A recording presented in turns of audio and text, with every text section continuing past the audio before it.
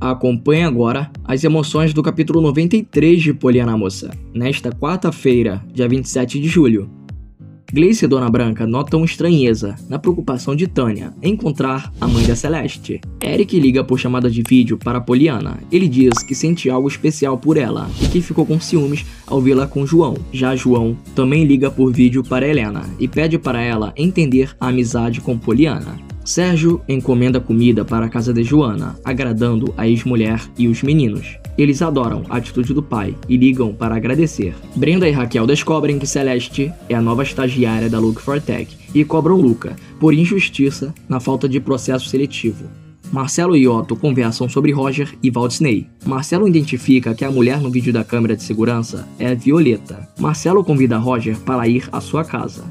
Ruth fala para Elo que descobriu que o encontro das crianças com Walt Disney foi na casa de máquinas e acreditam que eles estão escondendo o Pinote. Celeste vai ao clube do Laço Lilás, ao encontro com Tânia, Glace e Dona Branca.